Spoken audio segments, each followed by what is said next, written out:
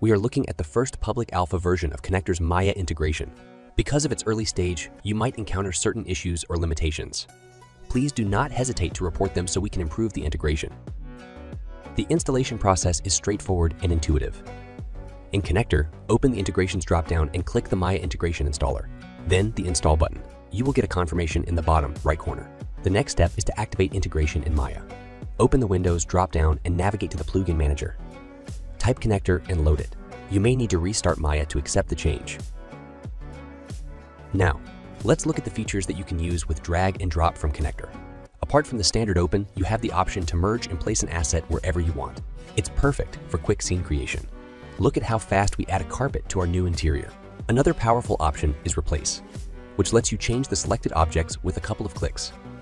Just like that, we have a brand new shiny table. The rest of the features are centered around saving assets or scenes. You can access them from the connecter dropdown in Maya. For example, you can grab that pillow and save it as a separate asset. During the process, you can select the folder in which it will be placed and generate a custom preview. For now, the only option is to grab it from the viewport. More features and options are going to be added with future updates.